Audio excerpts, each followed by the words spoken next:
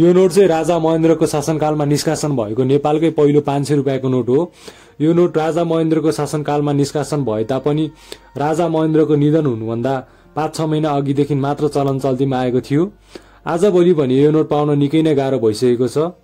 यो नोट जम्मा एक लाख थान मात्र निष्कासन गरिएको थियो र अहिले पनि यो चलन चल्तीमा छैन जसले गर्दा यो नोट निकै नै दुर्लभ भइसकेको छ। यो नोट विक्रमसम्म दुई हजार अठाइस साल जेठ चौबिस गतेदेखि चलन चल्तीमा आएको थियो। भने राजा महेन्द्रको निधन विक्रमसम्म दुई हजार अठाइस साल माघ सत्र गते भरतपुरको दियालो बङ्गलामा भएको थियो। उनले विक्रमसम्म दुई हजार तेह्र साल वैशाख तेह्र गतेदेखि विक्रमसम्म दुई हजार अठाइस साल माघ सत्र गतेसम्म नेपालमा शासन गरेका थिए। नोटको अगाडिपट्टिको भागमा हामीले राजा महेन्द्रलाई मिलिट्री पोसाकमा देख्न सक्छौँ।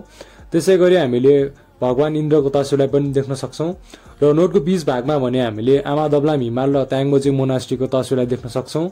त्यसै गरी यस नोटको छपाई भने डेलारी कम्पनी एन्ड युकेमा गरिएको थियो र त्यस समयमा राजा महेन्द्रको शासनकालमा निष्कासन भएको सबै नोटहरू बेलायतमा छपाई गरिएको थियो र यसको वाटरमार्कमा भने राजा महेन्द्रकै तस्विर राखिएको छ र यस नोटको साइजको बारेमा भन्नुपर्दा यो चाहिँ सत्तरी इन्टु एक सय साठी एमएमको रहेको छ र यस नोटमा चाहिँ हामीले प्रिफिक्स क एकसम्म मात्रै देख्न सक्छौँ।